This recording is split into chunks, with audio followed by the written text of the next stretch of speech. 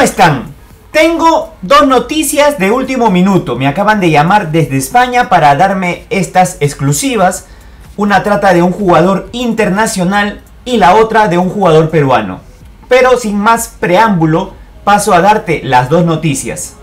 La primera habla de Neymar Jr. Me acaban de confirmar que en los próximos días el Barcelona ya estaría presentando a Neymar como nuevo jugador del Barcelona. Algunos estarán pensando, estarán diciendo de que aún no se ha concretado nada, que el París no quiere venderlo, pues escuchen esta noticia que llega desde España. Por cierto, noticia, ¿cuál es ahora el precio de Neymar? Óscar García Soto, cuéntanos, hola.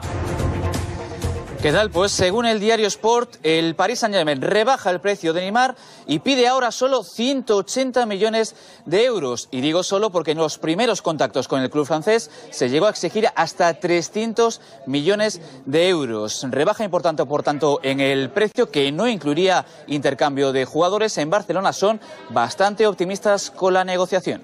Gracias, Óscar. Cuando yo terminé de escuchar la noticia, automáticamente mandé un mensaje, un correo electrónico a una de mis fuentes y repito, me acaban de llamar para darme la información de que es verdadero lo que el París está pidiendo, esos 180 millones por Neymar, y el Barcelona prácticamente ya, ya estaría solamente finalizando algunos detalles del contrato con el jugador, no con el París, porque con el PSG parece que ya está todo acordado.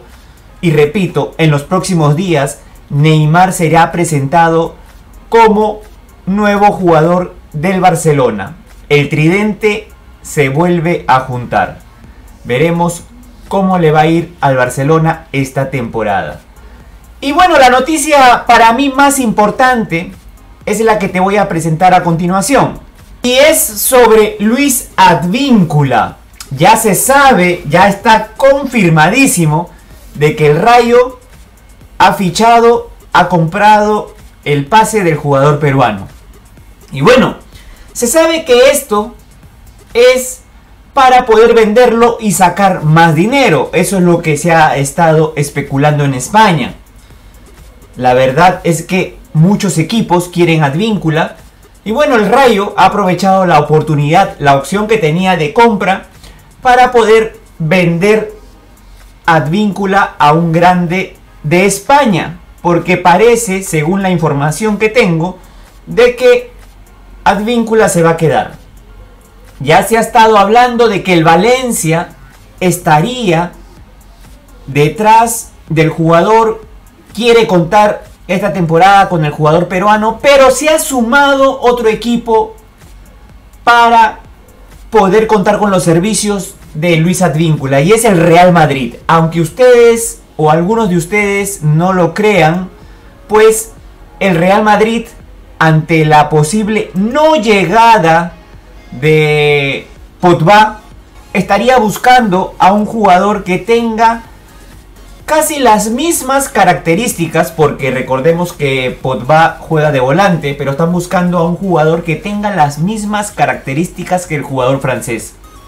Y seamos sinceros, Advíncula tiene en su juego, sobre todo cuando se proyecta, algo de Potba.